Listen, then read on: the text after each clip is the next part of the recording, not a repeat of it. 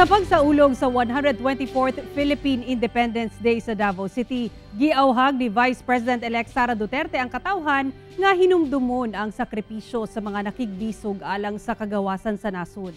Samtang modern-day heroes giila atul sa pagsaulog sab sa General Santos City. Ani report ni Argil Relator.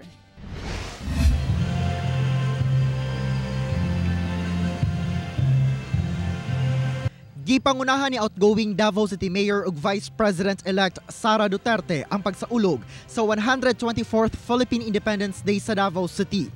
Mitambong sab ang mga tag-as nga opisyal sa PNP, BFP ug Task Force Davao.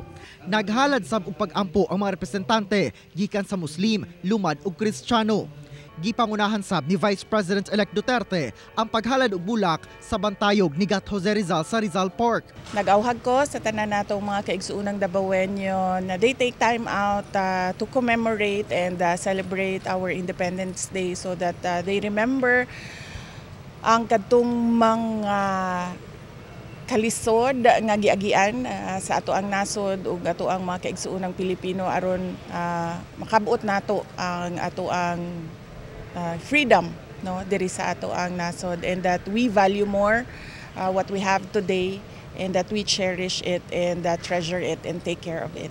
Samtang giauhag sab sa kapulisan sa Davao Region ang law enforcers nga himuon og tarong ang ilang gipanumpaang katungdanan sa nasud. We do it to inspire our people to do good and to use this occasion as uh, motivating factors for us to do better in our respective uh, performance of our functions.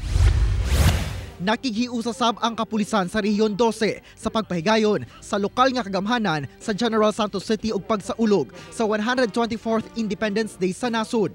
Sa maong programa, giila ang modern day heroes na gilangkuban sa kapulisan, healthcare workers ug uban pang frontliners nga mao'y mga naningkamot sa pakigbatok sa COVID-19. Gipahinumduman usab ang kapulisan nga ipadayon ang serbisyong tinuuray sa katawhan ug andam kanunay sa pagdepensa batok kriminalidad.